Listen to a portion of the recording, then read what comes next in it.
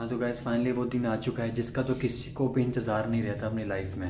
Gas मुझे ना मेरी फैमिली से बाहर निकाल दिया जा रहा है यार मुझे नहीं पता मैं क्या करूँ। तो मैंने सोचा है कि मैं कोई नया घर ढूंढ के वहाँ पे रहूँ इन सबसे अलग रहूँ क्योंकि यार मे, मेरा तो हो गया यार बस। सच सच में हो गया मेरा। मैंने इसलिए ये ब्लॉग बनाया कि मेरे को नहीं पता मैंने ये सब चीज़ें कुछ अच्छा किया कि नहीं इसलिए मैंने ये ब्लॉग बना के सोचा आप लोगों से पूछूँ।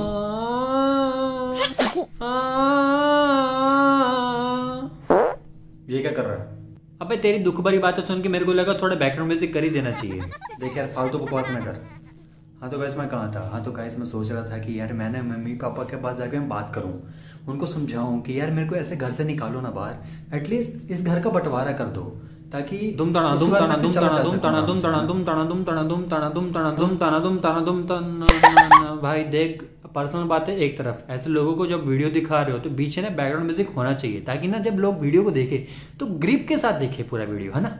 वो सब ठीक है पर इतना गंदा म्यूज़िक डेली सब ज़्यादा देखता है क्या? अरे यार वो ना मम्मी देखती है तो फिर रिमोट भी उनके पास होता है तो मजबूरन में मेरे को भी देखना पड़ जाता है। फिर तो तेरी मम्मी तेरे लिए तो गोपी बहू जैसी बहू ढूंढ रही होगी। हाँ? खैर छोड़ हाँ तो मैं गैस कहाँ पे था? हाँ तो मैं गैस सोच रहा था कि मैं मम्मी पापा के पास जाके जब मैं बात करूँगा कहीं मैं उनका यार दिल ना दुखा दूँ। क्या?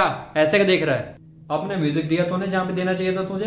अरे हाँ एक म्यूज़िक है ना। क्या था वो? हाँ वड़ा वाऊ वाऊ वड़ा वाऊ वाऊ वाऊ अबे यहाँ पे किसने प्रीति को नहीं छेड़ा है कि मैं बुलेट लेके उसके कॉलेज के अंदर घुस जाऊँ मैं सीधा? नहीं नहीं अरे नहीं यार म्यूज़िक कोई और था कोई और था। आ रहा है आ रहा है आ रहा है। आह। यार मेरा पहला ब्लॉग था यार क्या तूने सारा खराब करके रख दिया? मैं लोगों को कैसे इन फ्यूचर दिखाऊँगा कि मैं कैसे हकता हूँ मूदता हूँ कैसे सब करता हूँ मैं? हक दिया तूने मेरे पूरे ब्लॉग में।